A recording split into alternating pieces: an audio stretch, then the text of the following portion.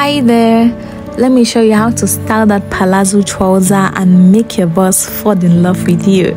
You might want to subscribe to this channel so that you don't miss magical tips like this one I'm about to show you.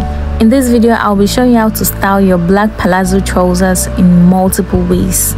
First, get that palazzo trouser and give it a clean ironing. You will need the most flattery white shirt and a pair of pointy toe black stiletto heels since we are matching our pants with our shoe. Remember, you could use the color of your choice but stick to giving silhouette, which means that the trouser must accentuate the curves of the waistline and butt aesthetics because you want to be noticeable. From the bag to the earring to the necklace, you want his eyes all over you. And overall, don't forget your composure because that is the main steez in what we are doing. Then on Tuesday, we go black and red. We make him focus on the waist, the legs, and the arms. Body, don't play. I said don't play body. If you want him, go for it. What about on Wednesday?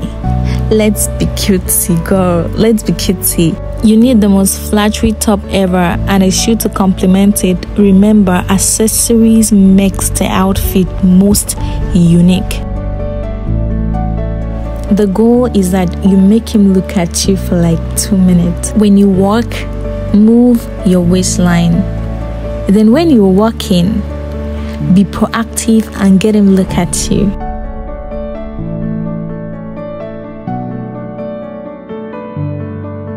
Then on Thursday, you just want to show off, like show him what you've got. I mean, we want to make him look for two minutes, right?